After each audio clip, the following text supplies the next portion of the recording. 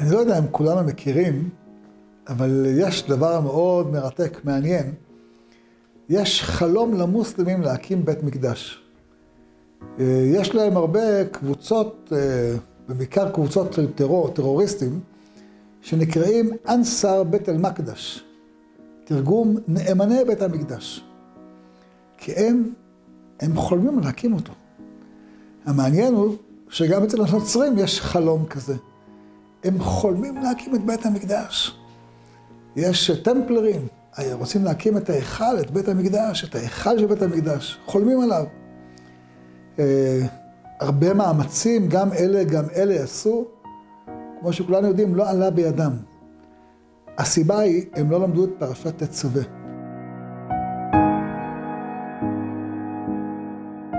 פרשת תצווה עוסקת כהמשך לפרשת תרומה. תרומה עוסקת בהקמת המשכן. המשכן הוא מכיל לא רק את הארון, השולחן והמנורה והמזבח.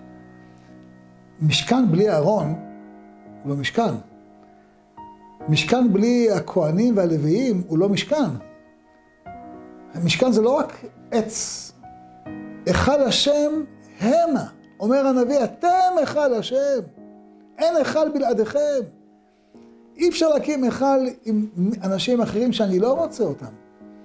זה לא הולך. היכל השם זה עם ישראל. כשעם ישראל נמצא בהיכל השם, ביתי בית תפילה יקרא לכל העמים, כל העמים יכולים ליהנות מהאור הזה, מהשפע, מהברכה הגדולה הזאת. אבל חלק מהותי מבית מקדש זה עם השם, ולכן המוסלמים מנסים כבר למעלה מ-1300 שנה ללא הצלחה. והנוצרים גם מנסים, לא עולה בידם, לא מצליחים, כי הם לא יכולים. מקדש זה רק מה שהשם רוצה, מקדש השם, כוננו ידיך. לא מה שאנשים עושים. מה שאנשים עושים זה נחמד, זה יכול להיות בית יפה, אין לו משמעות, לא תשרה בו שכינה. וכל התוכנית של בית המקדש ושל המשכן זה מקום שבו שורה שכינה, שבו השם נמצא. והוא נמצא, אם זה בנוי לפי איך שהוא רוצה. והוא רוצה שבתוך הבית שלו יהיו הבנים שלו, בני בכורי ישראל. יהי רצון, יראו עינינו, ישמח ליבנו ותגן נפשנו במהרה בימינו אמן.